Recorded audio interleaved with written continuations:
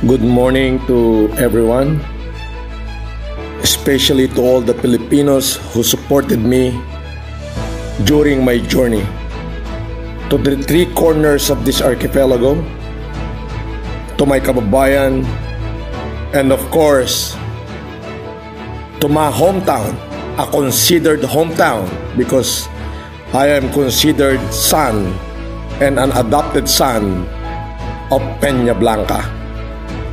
I have come here today not to offer humanitarian, but to offer my life as a brothers and sisters of yours and as a son of this municipality. Let me start with simple hello and to all of you, good morning. You know, I believe this humanitarian not only creating a gesture of affection to my brothers and sisters here in Peña Blanca, but I know it will create a remarkable change in the lives of those poverty-stricken countrymen and in the lives of visually impaired and with disabilities, and including to their families. I also believe that this nation I stand today will rise again to show its true meaning of life. A life of sharing, helping each other to find the common goal that will transpire the people to operate under the principle of love, compassion, and kindness. Our life must develop to live in a country that show equality, liberalism, justice, and liberty without the control, oppression, deprivation, and restriction of the overbearing authority.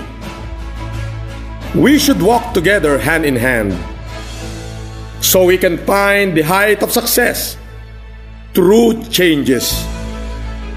We need to modify our ways of life so that we all live in progression.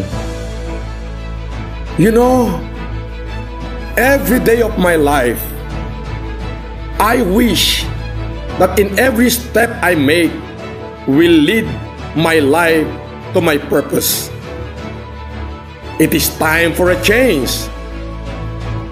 Stagnation will not elevate the life of the people of this country. There must be ways and means to raise the highest height, to reach the unreachable dreams of every Filipinos who live in the three corners of this land not only from Mindanao, not only from Visayas, but of course from all over Luzon. We must practice the egalitarian philosophy that every Filipino deserve an equal rights and equal opportunity. Because you know, my love for you is without question. The very essence and very purpose of my message to all of you is to cry out for the righteousness in you and to all the people who witnesses in here and appeal for universal brotherhood for the unity of all people. Those who can hear me, I say please do not distress because the hardship in life that is now upon us will soon be come to pass, or I shall say, or shall I say, will soon be over. Because you know, again, as I have said in so my many speeches before my very own people and before the world, helping all our poverty-stricken countrymen is not just an easy task. But if every generous heart on every brave man will pitch to this endeavor, no matter how great the mission is, it will surely be achieved. Why? Because remember, there is no greater joy than giving joy to others. And there is no greater inspiration than inspiring others.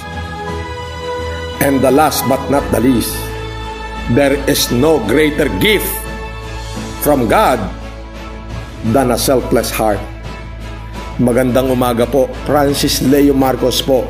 Mabuhay po kayong lahat and let the humanitarian begin here in Peña Blanca, Cagayan. Maraming salamat po.